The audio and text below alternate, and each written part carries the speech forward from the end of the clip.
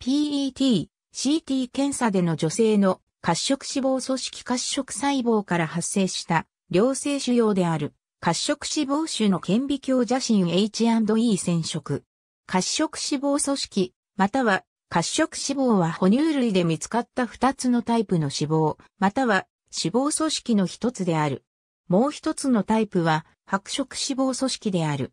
褐色脂肪組織は新生児や冬眠動物では特に豊富である。その主な機能は動物や新生児が体を震わせないで体の熱を生成することである。単一の脂肪雫が含まれている白色脂肪細胞とは対照的に褐色脂肪細胞は鉄を含んでおり、それが茶色を停止、多数の小さな液滴とはるかに多い数のミトコンドリアが含まれている。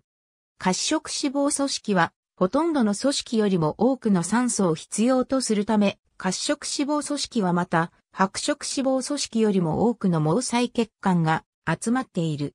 ノルアドレナリンが褐色脂肪細胞上のベータ3受容体に結合すると UCIP1 が生成され、ミトコンドリアで脱強薬が起こり熱が産生される。動物の冬眠時によく見られる運動に伴わない熱産生の手段である。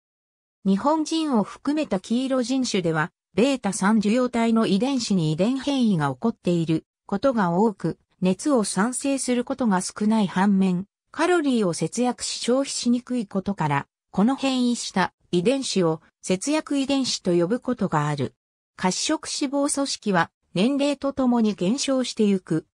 褐色脂肪組織が多く存在している部位を運動や冷却で刺激することで効率的な脂肪燃焼を促すことでダイエット効果があるとする説があるが医学的根拠に乏しく少なくとも現在では正しい情報とは言えない。褐色脂肪組織がベージュ脂肪細胞と混同されているケースも多い。ありがとうございます。